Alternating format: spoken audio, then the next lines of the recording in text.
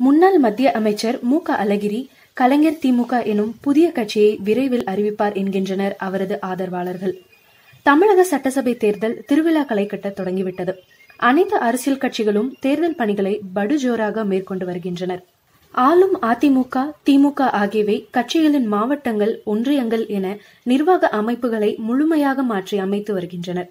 இன்னொரு பக்கம் ஒவ்வொரு கட்சியும் பிரமுகர்களை வளைத்து போடும் நடவடிக்கைகளிலும் பிஸியாக இருக்கின்றனர். அதேபோல் எந்த கட்சி எந்த கூட்டணிக்கு போகும் எந்த கூட்டணி நிலைக்கும் சிதறும் என்கின்ற விவாதங்களும் களை கட்டிக் கொண்டிருக்கின்றன. இந்த கோதாவில் இப்போது முன்னாள் மத்திய அமைச்சர் மு க அழகிரியின் பெயரும் கோர்த்துவிடப்பட்டுக் கொண்டிருக்கிறது.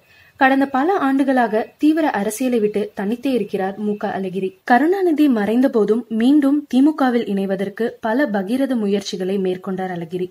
இதற்காக கருணாநிதிக்கு நினைவஞ்சலி என்ற பெயரில் சில மாவட்டங்களில் கூட்டங்களையும் அழகிரி நடத்தினார். ஆனாலும் திமுக தலைமையானது அழகிரிக்கு ஒரு சிக்னலும் கொடுக்கவில்லை. இருப்பினும் கருணாநிதி குடும்பத்தினர் பேச்சுவார்த்தைகள் மூலமாக அழகிரியை அமைதியாக்கி வந்தனர். அதே நேரத்தில் ரஜினி கட்சிக்கு போவார் பாஜகவுக்கு போவார் என்கின்ற தகவல்களும் அவ்வப்போது வலம் வரும். தற்போதைய சூழ்நிலையில் ரஜினிகாந்த் கட்சி தொடங்குவதற்கான எந்த அறிகுறியும் இல்லை.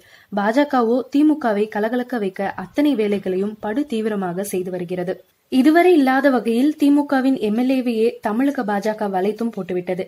எம்எல்ஏ செல்வத்தின் விக்கெட்டை வீழ்த்திய உற்சாகத்துடன் பாஜக அடுத்த குழப்ப வேலைகளுக்கு கால நேரம் பார்த்துக் கொண்டிருக்கிறது. இந்த நிலையில்தான் ஆதரவாளர்கள் அனைவரும் அமைதியாக இருங்கள். விரைவில் அண்ணன் அழைப்பார். நமக்கான களம் தயாராகிவிட்டது என மு க அழகிரி ஆதரவாளர்களுக்கு மதுரையிலிருந்து தகவல்கள் போயிருக்கிறதாம்.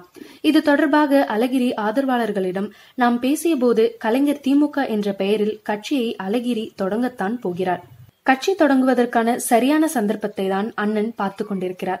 திமுக தலைமை மீது ஒவ்வொரு மாவட்டத்திலும் ஒவ்வொரு காரணங்களுக்காக சலசலப்பு இருக்கிறது. ஆனால் வேறு ஒரு கட்சிக்கு போகவும் முடியாமல் அரசியலை விட்டு ஒதுங்கவும் முடியாமல் அதிருப்தியாளர்கள் பலரும் இருக்கின்றனர்.